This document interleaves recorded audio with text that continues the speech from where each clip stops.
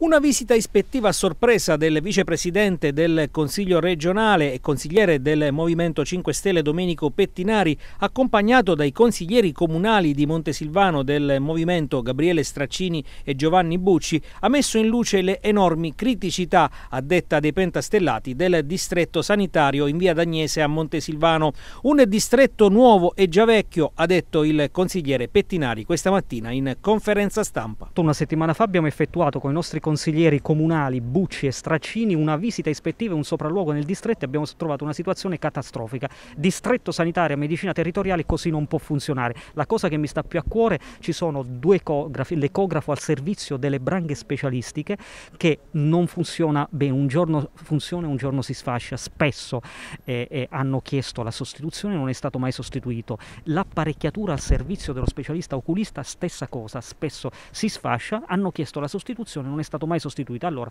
basterebbe solo questo per dire che la medicina territoriale non funziona. Nella medicina territoriale l'ecografo è lo strumento di base che è come la pala per il muratore. Se non abbiamo gli ecografi funzionanti o gli ecografi adeguati, significa che il cittadino non può fare prevenzione, si ammala sempre di più, si ingolfa all'interno del pronto soccorso, entra tutto all'interno del pronto soccorso di Pescara e i reparti scoppiano. Questo è un vero dramma e poi ascoltiamo l'assessore che dice realizziamo il nuovo ospedale. Facessero funzionare quello che funziona. Abbiamo trovato tutta un'altra serie di anomalie. Non va il disservizio che viene arrecato al, all'utenza. L'utenza purtroppo, anche, che tra l'altro ci dicono i dipendenti è in forte aumento, quando arriva qui non trova le giuste cure eh, necessarie perché manca la strumentazione.